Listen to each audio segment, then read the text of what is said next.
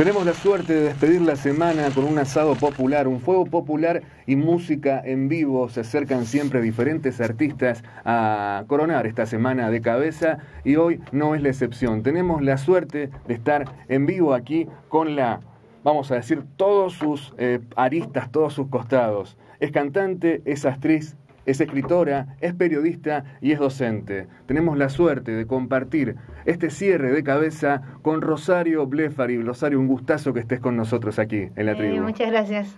Te vamos a pedir que arranques con unas canciones, más luego una charla siempre interesante. Bueno, cómo no.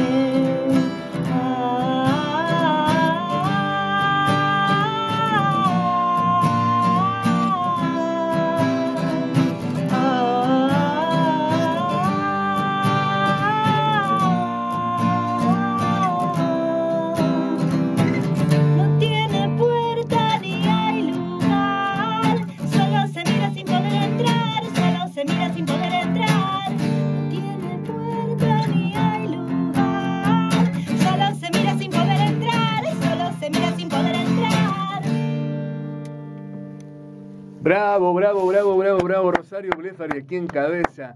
Gustazo compartir este, este encuentro de viernes con nosotros. ¿Cómo andas? ¿Bien? Bien, muy bien, muy bien. Está guitarra en mano, una guitarra electroacústica. En un rato, en unas horas vas a compartir este, en un evento gratuito en el, en el Senado de la Nación sí, sí, una, una experiencia similar. ¿Cómo es esta previa a tocar en el Senado de la Nación? Bueno, justamente viniendo acá a la radio, mirá vos. Este, sí, voy a, voy a tocar yo así como estoy tocando ahora, de la misma manera. Eh, justo me invitaron a participar de ese ciclo este, cuando yo estaba así, tocando así, justo, es un periodo este hasta, por lo menos hasta que termine el año, que estoy tocando sola con la guitarra y tratando de evitar la amplificación por un tiempo, ¿no? Por lo menos. Y mm, entonces les dije que, bueno, que si, que si querían, eh, digamos, si, si, aceptaban, mejor dicho, yo iba a tocar, pero así, de esta manera. Eh, bueno, dijeron que sí, fui a probar un día para ver si ahí la acústica daba, que no sea que chupe mucho, que no se escuche nada después también. Y, mm, y, hice una prueba, me pareció que estaba bien, así que voy a hacer así, también va a haber unos eh, cancioneros con las letras para cantar que también es una cosa que estoy probando últimamente, que es que, el, que eh, digamos, el, el, canto espontáneo de las personas en el recital sea un poco más organizado o, incluso estimulado o provocado eh, de, mi parte, ¿no? Claro. Eh, y, y, también aprovechando que al no estar amplificada, ni los instrumentos amplificados, eh, estamos todos en el mismo plano de sonido, no es que ahí está el músico con su... No hay una distancia, pues, Claro, arrolladora, potencia, subido todos los volúmenes y bueno, uno canta mientras los ve tocar en, el, anonimato, que también es lindo, ¿no? Porque tiene esa cosa que cantás y este, se escucha la voz y los otros están con los micrófonos. Pero bueno, esto es como sacar ese, esa diferencia un poco y en el, por lo menos en el plano auditivo poder llevarlo a que todos nos escuchemos igual y, y, también para cantar en compañía de las voces de las personas que, que es muy lindo. O sea, ¿Cómo funciona este nuevo experimento de las canciones a pedido? Que es una linda locura. Bueno, vamos a ver cómo funciona, digamos, porque ahora todo depende de mí. Este, lo que yo pedí, que fueron los pedidos, justamente, pedí pedidos, funcionó perfecto porque los que me escribieron fueron muy precisos y salvo, no sé, dos o tres excepciones que que no, que no, que por ahí no habían entendido bien o pensaron que era más como ideas para canciones. Ah, sí, quiero una canción que sea así, WhatsApp. Claro. No, eso, no se trataba de eso, sino que realmente respondiera a una necesidad real de, de, alguien de decir, bueno, tal cosa que no me animo a decirla o que es difícil explicar, de tanto sea de cómo me siento o de algo que quiero comunicarle a otra persona o tal vez incluso algo que necesito para atravesar ciertos momentos, ¿no? entonces ahí se ve también como para qué cosas se usa la música, o, las canciones por lo menos. ¿Y qué le pasa a la gente que te escucha también? Hay como una comunicación, hay una comunión desde que te escucha y necesita una canción para algo. ¿Cuáles fueron esas historias que más te conmovieron o que dijiste, mira qué historia? Bueno, son, son muchas, siento como una cosa medio de confesión, no sé, como de, que no sé si, si, si, si revelarlo tanto, pero puedo abstraerlo así, por lo menos yo lo que traté de hacer con cada caso, hasta ahora los que llevo trabajados, es eh, buscar la síntesis, de, como si fuera la síntesis del argumento de lo que esa canción tendría. Lo más difícil fue que en un principio hay, ahí se, se arma un doble camino, que es tal vez lo que la persona te cuenta para explicarte por qué necesita esa canción, merece una canción, pero una canción retrato de eso, digamos, que sería como mi interés. Digo, uh, mira esto para una canción, y esa canción cuenta eso, pero eso no es lo que quiere la persona. La persona no quiere que le cuenten su, la, historia por la cual necesita una canción. La persona necesita otra cosa, que es la canción, de la que no se dice nada en el pedido en realidad, y, de la que esa historia que te cuentan en un punto no, no, es no tiene nada que ver, no sé cómo decirte. Entonces, tal vez eso es ese punto de, bueno, la historia que rodea el pedido de, la canción es lo que yo guardo como secreto, ¿no? No voy a estar ventilando eso porque son todas cosas personales, muy personales.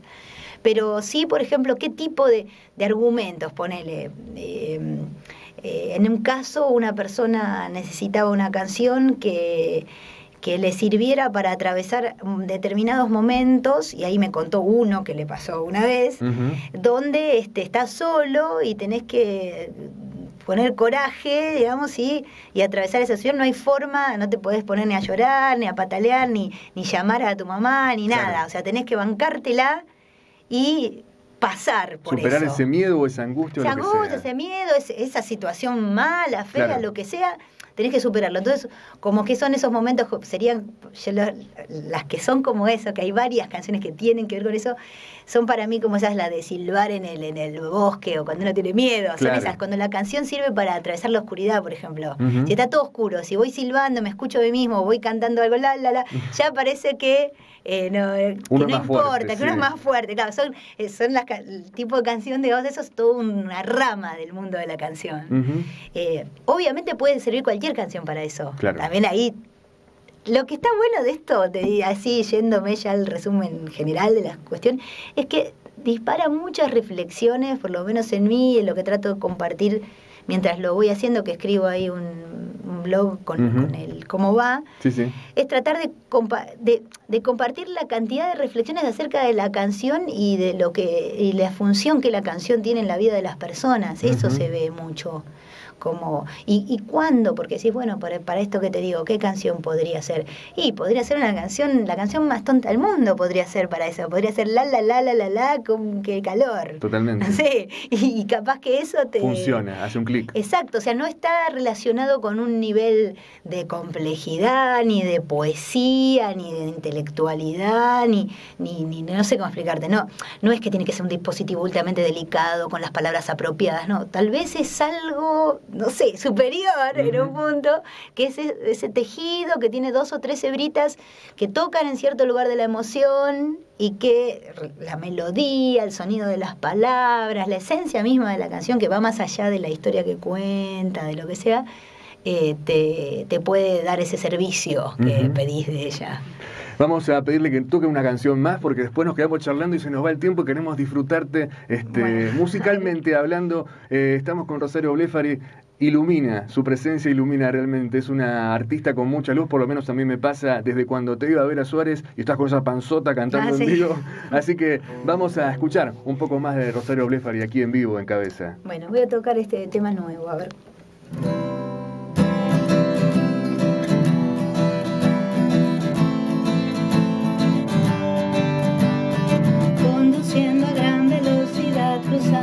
La ciudad en medio de un enojo repentino.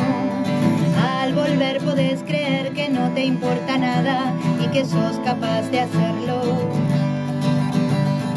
Que podés perderlo todo ahora mismo y nada va a cambiar.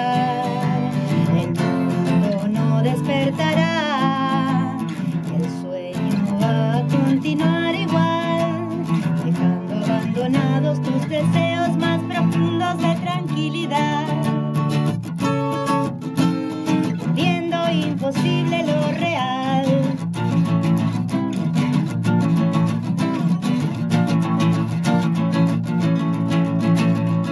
Y al mismo tiempo te largas a una carrera loca, como aquel piloto suicida del amor que se niega la pasión por desatino sin entender que de antemano está todo perdido, como él ya tomó una decisión y ahora viaja en otro motor, o piloto de su propio destino.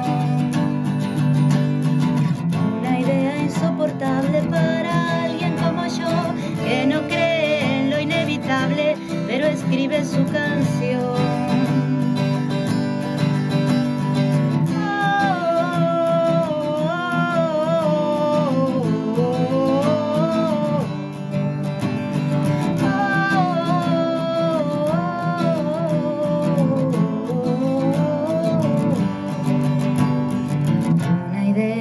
Insoportable para alguien como yo, que no cree en lo inevitable, pero escribe su canción. Bravo, bravo, bravo, bravo, bravo. ¿Te puedo pedir una más? Bueno, Pero yo les puedo pedir que apaguen eso. Ah, sí, el aire acondicionado está un poco fuerte. Mil disculpas, Rosario. Ah, Aparte, hoy es doblete. Sí, sí, sí, sí, sí, sí. Estamos en vivo, estamos compartiendo aquí en la tribu para todo el mundo desde fmlatribu.com a Rosario Blefar. Y tenemos este gustazo que nos damos los viernes. Te vamos a pedir una más. Y después tengo un par de preguntas que tienen que ver con el arte y que tienen que ver con este momento actual. Bueno.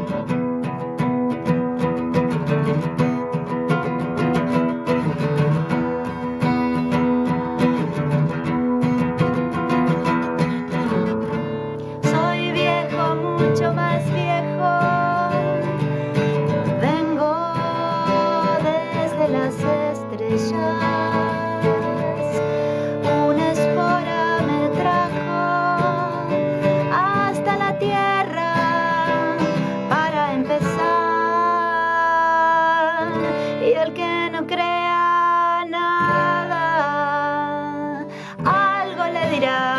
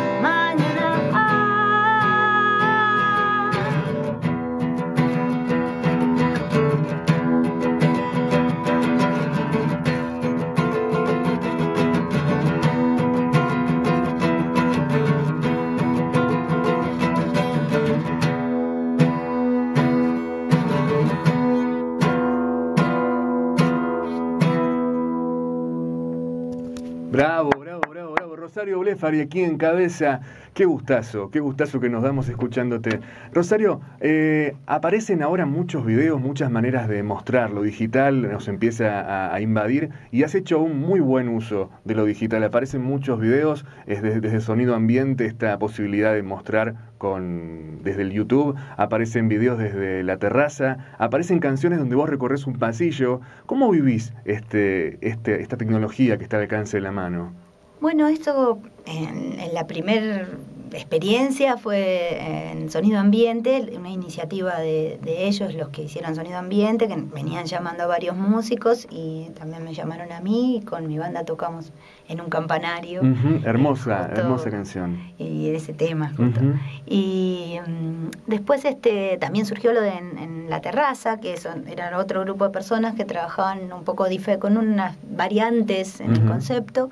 Y, y, también pasó que estando yo en distintos lugares por ahí, que justo estaba decía que bueno que está acá, y tocar una canción y filmarlo y subirlo directamente, me parecía también como una manera, no sé, inmediata de mostrar algo, ¿no? Como poder estar enseguida, tipo, acá está la canción, la toco y ya y ya está, no sin ninguna edición, porque en los otros casos hay un poco de edición. En estos casos que hice yo con eh, José Luis Terres Leiva, que es un director chileno, con él justo filmamos esas. Fue que él estaba con la cámara y decimos, bueno, hacemos un tema y hacer un tema y ya solamente cortar el principio y el final y subirlo así sin editar. este, y esa fue como nuestra variante en el racimo este de los sonidos ambientes, ¿no? Nuestra eh, aporte, en realidad es como, hay muchos, incluso hay una idea anterior, que no, no sé bien los nombres ni nada, pero de alguien que viaja por el mundo y va haciendo un poco esto, de, convocar algún músico al lugar.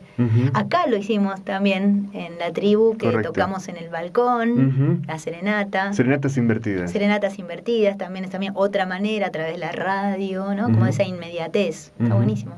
Eh, esta tarde te estás presentando exactamente a las 19.30 horas gratis en el Senado de la Nación, Cancioneros sin amplificar. Esto es una cosa así, es una experiencia muy muy linda que va a suceder esta tarde. Sí, así es. Ahí es, pueden la oportunidad de entrar al Congreso, ese edificio misterioso. Muy misterioso. este, y ver ahí un poco, bueno, cómo es el edificio. Y también eh, venir a cantar es un salón no muy grande que hay ahí, en, creo que es en el primer piso, no sé, bueno, ahí cuando entren los guiarán. Y bueno, es un salón muy serio y, senadoroso, ¿no? Este, pero estaría bueno a ver si se, se pone un poco de onda con las canciones se le podemos poner un poco de onda.